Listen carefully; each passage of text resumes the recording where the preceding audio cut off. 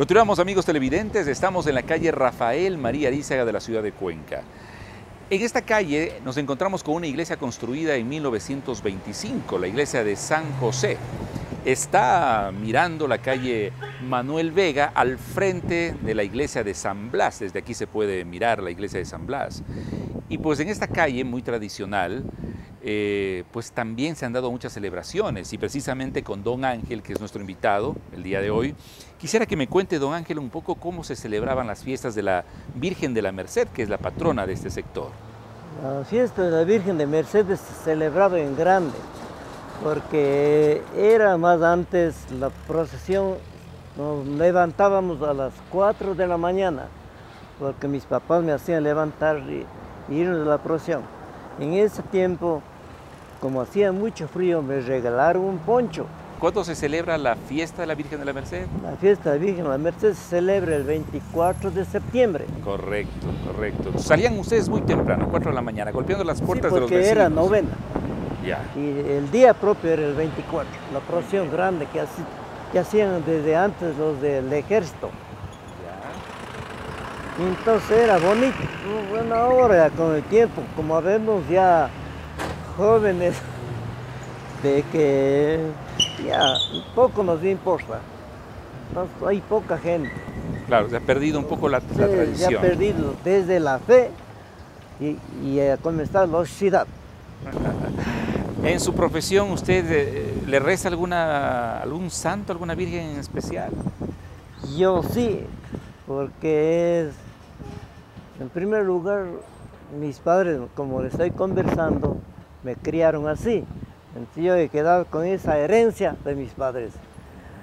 A misa vengo todos los días, Todos los días. todos los días. ¿A qué hora? A una hora de día, a las 7 de la mañana. Ya. Como dicen así, parcialmente, se va y se pide a Dios para el pan de cada día. Entonces, Eso yo hago, aun- aunque la gente critique, porque dicen más, pasan en la iglesia golpeándose el pecho, pero no son nada. Para conocer, amigos televidentes, un poco más de la riqueza religiosa que encierra esta iglesia de San José, aquí en la calle Rafael María Ariza, les hemos preparado el siguiente reportaje. Como si coronara la ciudad con su cúpula central, la iglesia San José del Vecino se levanta en la calle Rafael María Arízaga y quizás sin intención de sus constructores, convirtieron a este monumento religioso en un mirador, una edificación con una antigua historia. Aquí en Cuenca estamos desde el año 1772, como le decía, ¿no? Eh, de la colonia. Y estuvimos como más de unos 200 años. Y ahí, porque vino un padre cuencano mismo, vino y compró ese, ese lote de ahí. Y hicieron la iglesita y los padres, ¿cómo se llama? Vinieron con la devoción a la Santísima Virgen. Y vinieron en el año de 1938. Desde ahí estamos aquí pero era como digo una capita muy pequeña que se llamaba San Cristóbal, que era anejo de, de San Blas, porque estaba lejos de Cuenca, pero ahora ya está en- estamos en la mitad de Cuenca. La historia más moderna está ligada a un personaje cuencano, su fe y generosidad. El doctor Miguel Merchán, el dueño del Mercurio, que era médico, nunca ejerció su, su- la medicina, pues no, sino que se dedicó al, al periódico. Y él entonces era muy amigo de los pobres, los quería mucho. Y él, como se llama, nos ayudó para comprar el actual convento, que es muy bonito, es una réplica de, la Merced de Quito. Y nos ayudó bastantísimo. Y una vez que se había- ido a Lima, pues eh, vino acá muy contento con los padres. A mí me contaron porque los conocía a los padres antiguos, especialmente al padre eh, Joaquín, eh, bueno, algunos padres antiguos, que él trajo de, Lima una.